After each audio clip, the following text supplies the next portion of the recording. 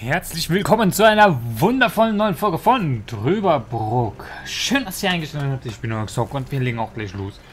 Und zwar haben wir jetzt zwei Kleiderbügeln. Ich hoffe, dass es jetzt funktioniert und wir endlich mit der Seilbahn fahren dürfen. Damit kommen wir sicher den Berg hinauf.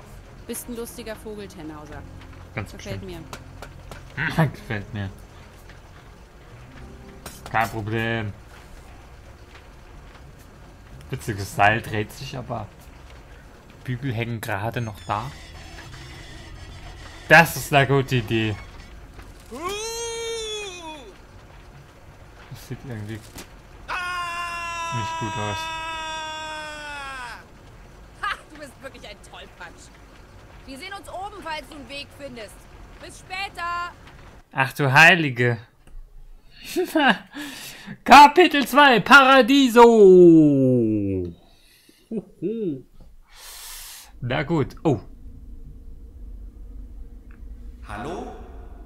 hallo. Ich bin hier. Bisschen dunkel hier. Hallo? Hey! Keine Sorge, ich bin hier. Faszinierend. Oh, es wird immer dunkler. Es wird mehr. Äh? Nicht gut. Halsumfang 39 cm. Herzfrequenz 66 regelmäßig.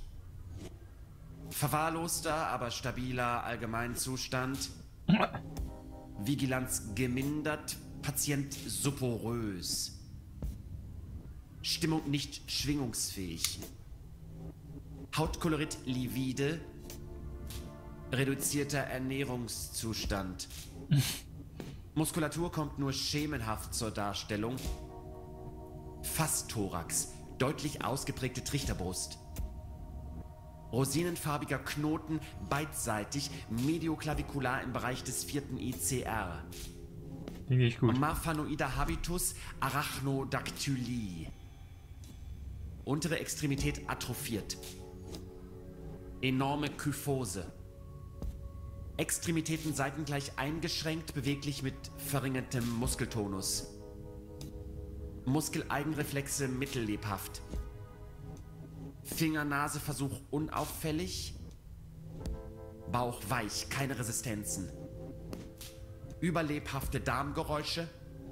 Lebhafte Darmperistaltik. Abgeschwächtes Atemgeräusch rechts basal. Rasselgeräusche über beide Lungen. Gespaltener zweiter Herzton. Nasal betonte Akromegalie. Ist der irgendwann mal fertig? Karottenförmiger Tumor im Gesicht. Was? Die Nase Radiges vielleicht? Sekret nasal. Zunge weicht nach links ab. Desolater Zahnstatus. Pupillen beidseitig rund und mittelweit. Sehr träge Lichtreaktion beidseitig. Augen ikterisch, Downbeat Nystagmus. Hornhautreflex beidseitig verzögert auslösbar. Halsumfang 39 cm. Hyperreflexie, Stimmung agitiert. Status des Patienten ungeklärt. Wo bin ich? Patient bei Bewusstsein und ansprechbar. Entschuldigen Sie bitte. Wo bin ich hier? Patient zu allen 42 Qualitäten nicht klar orientiert. Ich muss Ihnen einige Fragen stellen. Wie fühlen Sie sich?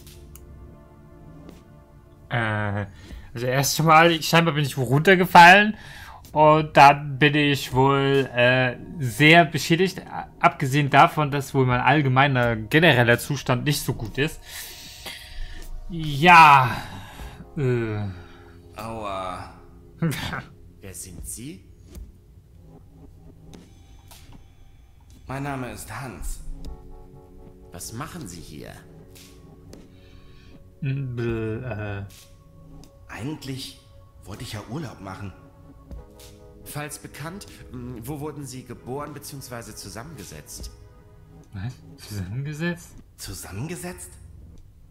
Hatten Sie schon mal ein Déjà-vu?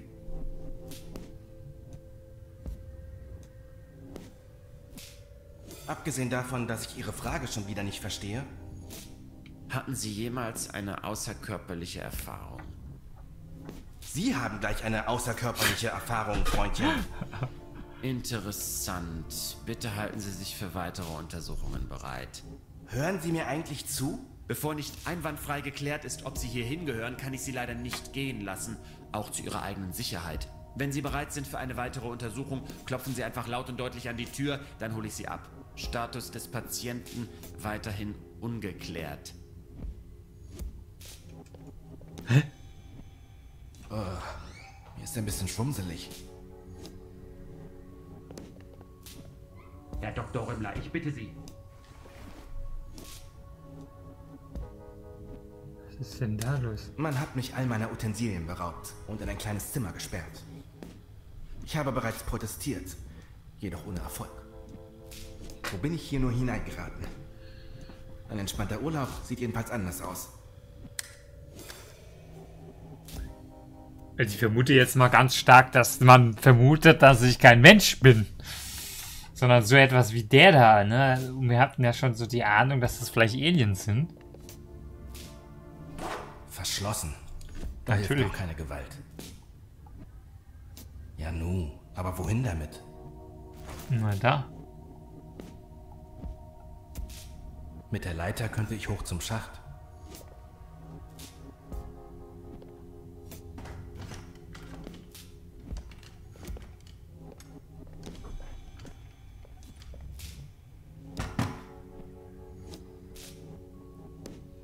Also das ist ja mal komisch hier.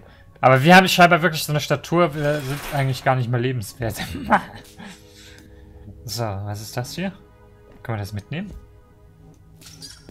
Kein Wasserdruck. Natürlich Oder nicht. verstopft. Ich hab einen Schlauch. Eine Münze. Sie ist aus dem Duschkopf gefallen. Klar. kosmischen Fügung ist sie direkt in meinem Inventar gelandet. Die Vorzüge des Kapitalismus. Ich vermute mal, mit der Münze können wir dann nachher da hinten Schrauben öffnen, ne? Jetzt funktioniert sie. Oh.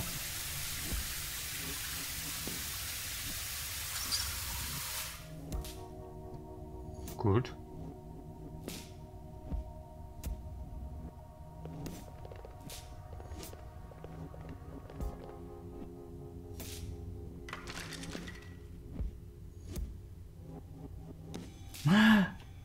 Raffiniert. Raffiniert, der Kleine. Wo bin ich nur gelandet? Mach mal die Dusche an, damit sie erst gar nicht gucken, ob ich hier drin bin. Ich bin am Duschen, bitte nicht reinkommen, ich bin nackt. Ich bin entblößt.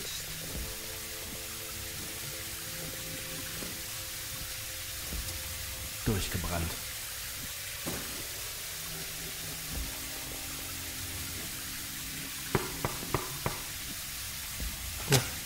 Sind Sie bereit für weitere Tests? Nein. Lassen Sie mich gehen. Erst die Tests,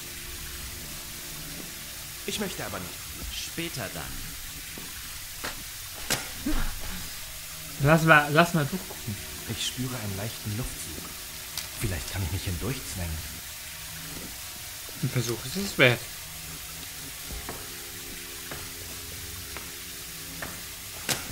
Ich bräuchte schon ein Spezialwerkzeug, um diese winzigen Schrauben zu lösen. Ich habe ja kurz geguckt. Nicht gut. Ich habe ein Werkzeug, hier eine Münze.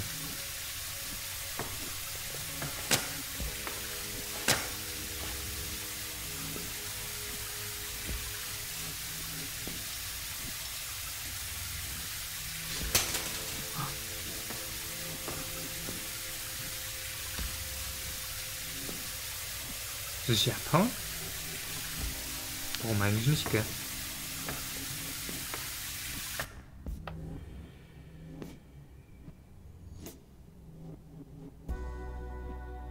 Da oben sind wir jetzt. Aha.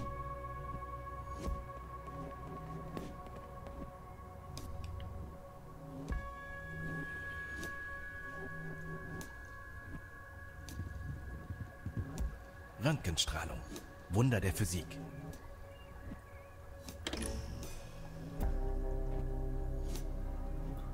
Ei! viele Bücher. Holla, hier. Da ist was los. Ein Plan für einen Quantendiskriminator. Nie gehört. Dabei bin ich doch Quantenphysiker. Tja. Wohl nicht genug Quantik.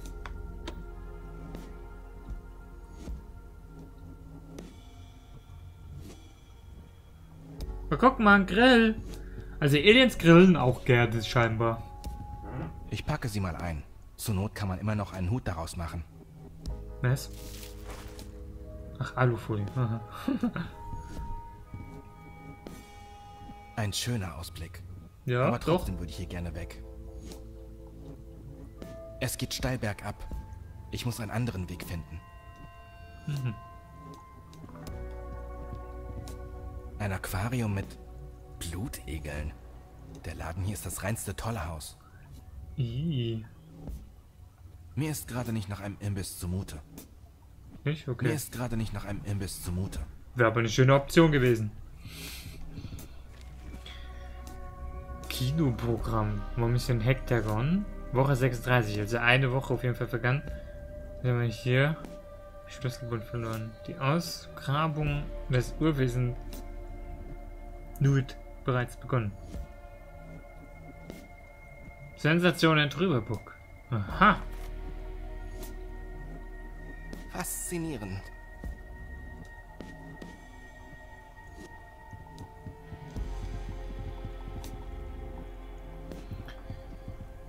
Hm.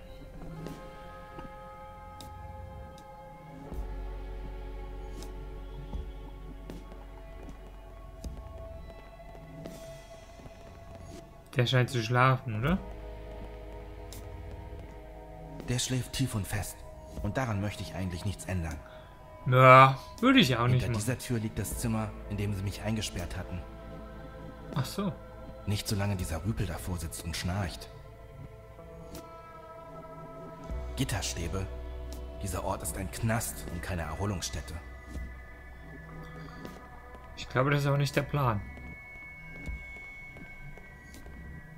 Tür ist mit einem überdimensionierten Vorhängeschloss versperrt. Das ist doch kein Hindernis.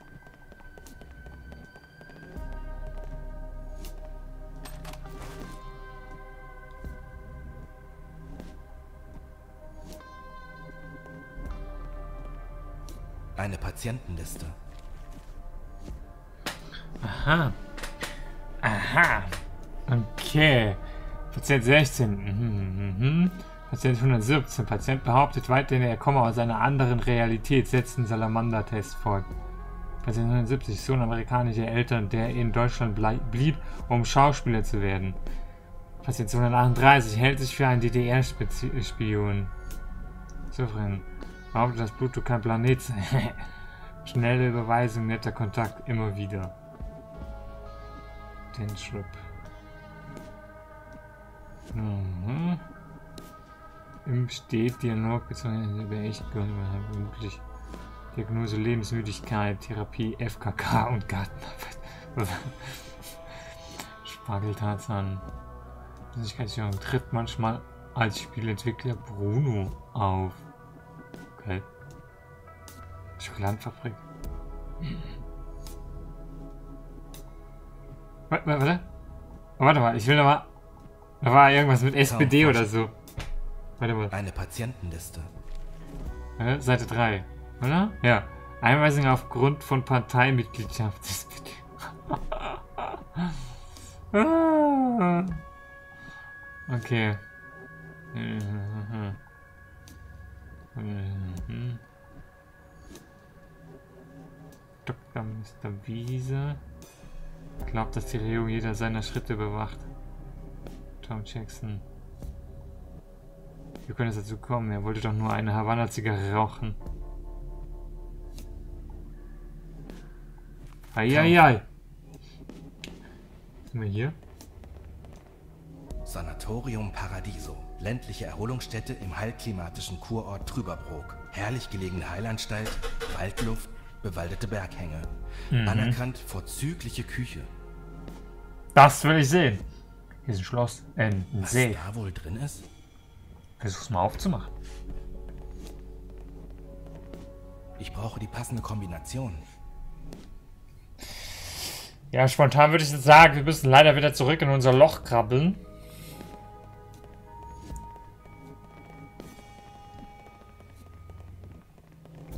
Und erstmal das Spiel mitspielen, das man von uns erwartet.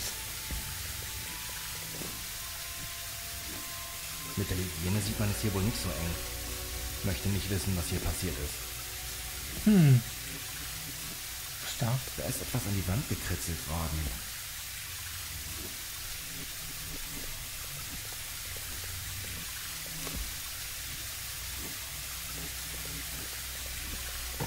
Keine Spannung. Ach, Manu. Ah. Auch sehr gut. Mit Alufolie. Oh je. Ich muss hoffentlich nicht die Sicherungen ersetzen. Mein Vater hat immer gesagt, Sohn, lass die Finger vom Sicherungskasten. Tada! Oh, eine Kombination. 5078. Na, schönen Dank auch. Na, damit kann man was anfangen.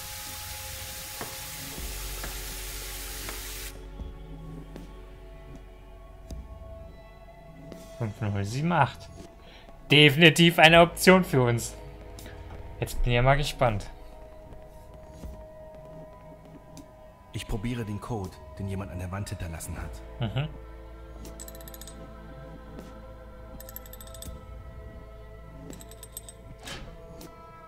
Scheint zu funktionieren. Und was finden wir? Interessant. Das sind wohl die Patientenakten. Patient nach unerlaubten Aufenthalt im Sperrgebiet zur weiteren Untersuchung festgesetzt. Ist wir das? Da sind sie ja. Hi. Sie haben sich wohl verlaufen. Ja, ja. Ich habe meine Reisegruppe verloren. Ich bin auf der Suche nach dem Zimmerservice. Ich wollte kurz... Ist das der Weg zur Toilette? Entschuldigung, ist das der Weg zur Toilette? Keine faulen Ausreden mehr. Wir machen den Test. Jetzt. Wow. Dieser Schlummermorchel-Smoothie hat es aber in sich. Ich sehe jetzt viel klarer.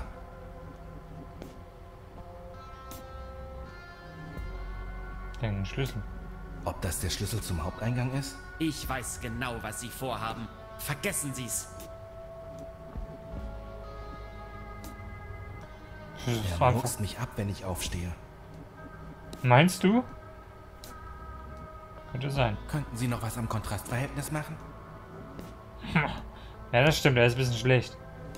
Na los. Bringen wir es hinter uns. Wie Sie meinen. Zunächst ein kleiner Assoziationstest zum Warmwerden. Wir zeigen Ihnen jetzt eine Reihe von Bildern und Sie sagen mir bitte, was Ihnen als erstes dazu einfällt. Erstes Bild. Äh. Ein Geflecht aus Punkten. Keine Ahnung. Roboter. Das Universum. Gute Frage. Ich weiß nicht. Ich will jetzt. Das würde wahrscheinlich. Das Ein Geflecht aus Punkten und Linien. Wie die neuralen Verschaltung eines Nervenbündels. Haben Sie schon mal von Soziophobie gehört? Faszinierend. Zweites Bild. Hey, das ist ja schon wieder sowas. Wir wissen schon, dass alles völlig überholt ist, oder? Kekse, Molmeshaufen und verhandter Konflikte. Ein Raumschiff. Das sieht komisch aus. Sie wissen schon, dass das alles völlig überholt ist, oder? Wie Sie meinen. Konzentration. Drittes Bild. Oh, das ist ein Schmetterling. Ein Schmetterling. Sind Sie jemals von einem Schmetterling gebissen worden? Äh. Nein? Ich auch nicht. Bemerkenswert. Und danke. So viel dazu. Geben Sie es lieber zu, Herr Tenhauser. Sie müssen es wissen. Wir wissen alle, dass Ihnen früher oder später die Ausreden ausgehen. Und dann ist es soweit. Dann gibt es kein Verstecken mehr. Wir wissen, wer oder was Sie sind. Aber diesen einen ehrlichen Schritt müssen Sie schon selbst tun. Wir behalten Sie bis auf weiteres hier. Hey, was denn? Wir bereiten hier mal alles soweit vor und holen Sie ab, wenn das Prozedere beginnen kann. Klopfen Sie an die Tür, wenn Sie soweit sind. Aha. Ich komme langsam wieder zu klarem Verstand. Was für ein Trip. Was für ein Trip, du sagst es. Was für ein Trip. Ich gehe jetzt das Schränkchen ab. Verschlossen. Immer noch. Da hilft auch keine Gewalt. Warte, wir kommen irgendwo dahin. Jetzt besser. Günstiger. Praktischer. Hm. Der schläft immer noch. Da waren wir drin. Oder was liegt denn da? Nee. Aber ich glaube, so schlimm sind die gar nicht, oder? Mal nochmal auf. Interessant. Nicht so lange die hinter dieser Gitterstäbe. Können wir da nicht durch? Hm. Komische Sache. Also ich finde die gar nicht so schlimm, ne? Ah Ja, die, die, die bringen uns immer wieder in unser Zimmer zurück und so, aber so prinzipiell tun sie uns ja nicht wirklich was Schlimmes an. Also, kann schlimmer laufen. Na gut, okay. Ja, liebe Leute, wir gehen aber zurück auf unser äh, sehr ähm, schickes Zimmer. Vier, vier Sterne, fünf Sterne äh, Zimmer mit Frühstück inklusive. Und mit kleiner Minibar namens äh, Wasserhahn. Ja, genau. Wir sehen uns im nächsten Video. Ciao, ciao.